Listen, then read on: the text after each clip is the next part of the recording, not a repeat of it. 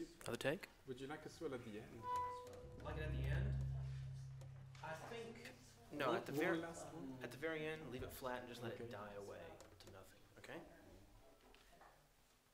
Okay. So another take from the top.